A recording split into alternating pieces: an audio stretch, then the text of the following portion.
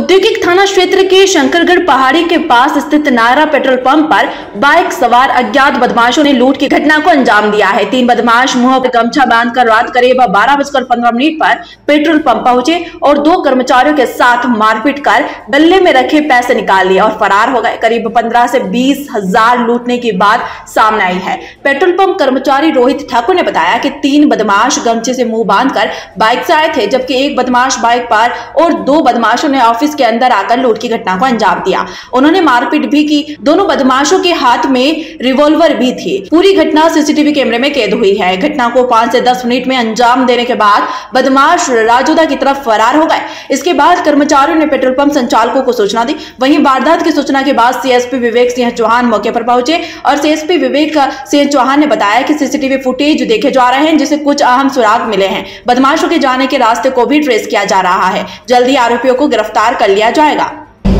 रात्रि सवा बारह, साढ़े बारह बजे के करीबन नायरा पेट्रोल के पास में तीन मोटरसाइकिल सवार जो हैं, जो गमछा से मुँह ढके हुए थे, वो आकर उन्होंने यहाँ पर डरा धमका कर जो है पेट्रोल से तकरीबन पंद्रह हज़ार रुपये इनसे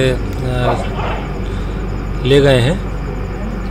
जिसमें जो है हमको कुछ प्रारंभिक रूप से सीसीटीवी फुटेज प्राप्त हुए हैं, इनके आने जाने के रास्ते क्लियर हुए हैं हम उस पर काम कर रहे हैं और जल्दी ही हम आरोपियों को पकड़ लेंगे। फ़ोन आए हम अंदर बैठे थे उन्होंने से एक पीछे से उतर गया उन्होंने रिवॉल्वर अड़ाई और बोला जो हाथ ऊपर कर लो जेब में से पैसे निकाले राज में से निकाले और हमें एक थप्पड़ भी दिया और दो जने थे सब। सब पंद्रह बीस हज़ार के लगभग ले गए। दो जने उतरे साहब एक तो मोटरसाइकिल पे बैठा था।